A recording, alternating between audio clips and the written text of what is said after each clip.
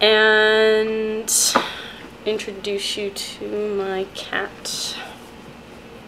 This is my cat. His name is Gizmo because he looks like Gizmo from Gremlins. His name is Gizmo. And he looks really pissed off right now. He looks really pissed off all the time. Um, he's a hairless cat, as you can see. Look, no hair. No hair.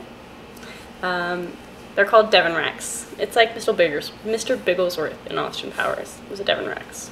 In the first one, anyway. After that, he was a Sphynx, which are ones that have even less hair.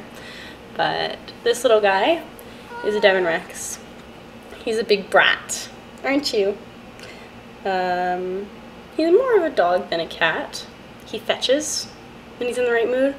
You throw mice for him, and, well, I mean, not real mice, fake mice, toy mice.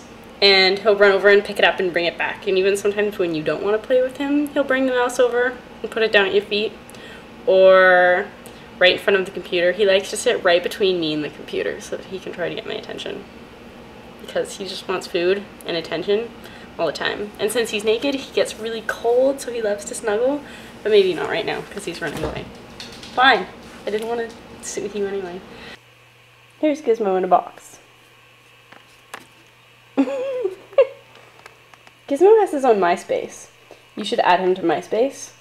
Um, his MySpace address is www.myspace.com forward slash Momo Catface. That's M O M O C A T F A C E.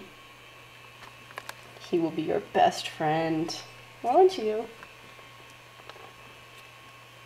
See how much he loves the computer? He goes on it when he thinks that I'm not around. He goes on the computer when I'm not looking and does things like make a MySpace and post videos on YouTube probably. He can get his hands on the video camera.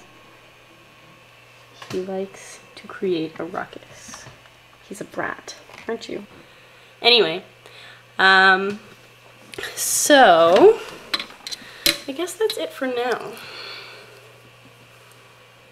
Me and Gizmo will be seeing you soon, won't we? Bye!